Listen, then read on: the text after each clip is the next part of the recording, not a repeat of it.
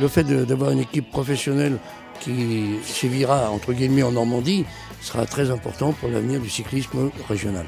Pour les fans de cyclisme, ils vont avoir euh, leur équipe. parce que euh, nous avons quand même de belles épreuves en Normandie. Euh, il y a Paris-Camembert, le Tour de Normandie. Et en fin de compte, nous serons là pour donner du spectacle. C'est un moment particulier, savoureux. Savoureux parce que ça fait dix ans que je, je courais après ce statut de coureur cycliste professionnel.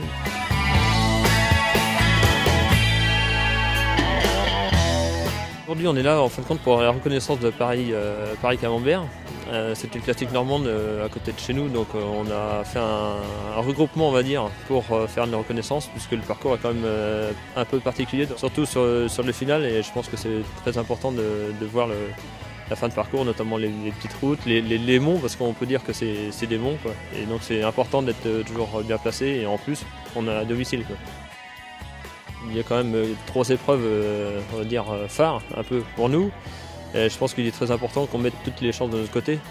le niveau est quand même élevé, on a pu le constater déjà depuis le début de saison, donc tous les détails sont importants et je pense que ça c'en est un qui peut être qui peut faire, je vais pas dire la différence, mais qui peut être le plus favorable pour nous.